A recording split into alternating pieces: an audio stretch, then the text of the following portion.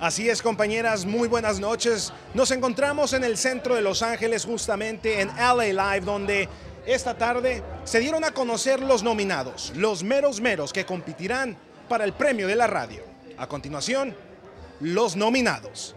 Fueron exactamente 12 categorías, algunas de ellas Artista del Año en donde se encuentra Jenny Rivera, la arrolladora banda El Limón, Gerardo Ortiz, Roberto Tapia y la banda El Recodo. Pues me siento muy contento y pues Dios dirá si me llevo muchos premios, con el favor de Dios sí, sí, para, para dedicárselo a todas las fans, porque sin ellas no estuviera aquí en donde estoy ahorita y pues a todas las fans les quiero dar las gracias por todo el apoyo.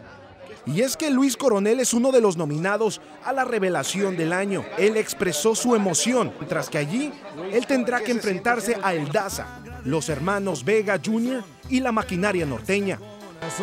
Aunque tanto te lloró, siguió latiendo.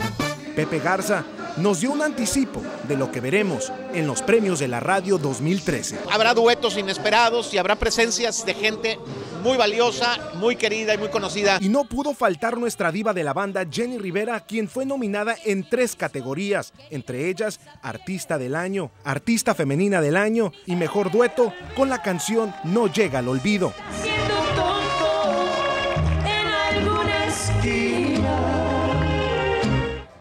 Premios de la radio se llevarán a cabo en vivo y en todo color el 14 de noviembre en el auditorio Dolby en la ciudad de Los Ángeles.